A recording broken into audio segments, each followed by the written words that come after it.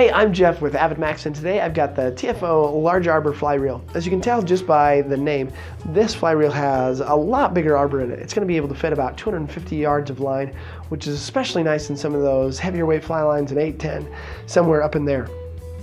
It's got a lot of really nice features on this fly reel. It's made out of machined aluminum, and as you can tell here, it's also um, a really smooth fly reel. So it sits on three ball bearings inside of there. And as you can tell, not only is the spool nice and balanced, but it's just a, a really, really smooth fly reel. It's pretty easy to swap the spools out on this. So if you fish with a couple of different kinds of fly line and want to be able to switch them in and out, you can do that real easily.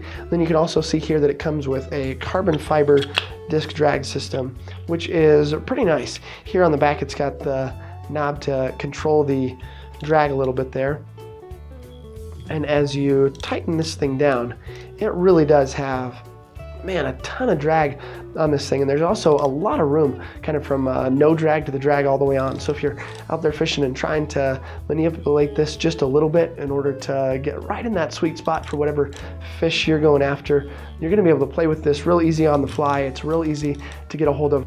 There's lots of room to adjust this there depending on how strong or not you want that drag to be. We also wanted to give you a little demonstration of what these sound like as they're going on. So this fly reel is one of the ones that is almost completely silent as you're reeling it in. And then it's a lot harder to recreate kind of that sound as the fish is running out on you. But here's our here's our best uh, best attempt at, at the line going out. It comes in a couple of different colors. So you see we've got the red here as well as a gold and a black.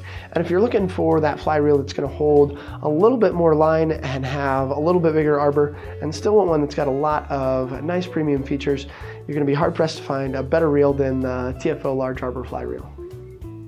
Hey, if you liked our video, make sure to give it a thumbs up, as well as add any of your comments or suggestions down below. For more fly fishing and outdoor related videos, subscribe to our AvidMax YouTube channel. Thanks for watching and we'll see you out there.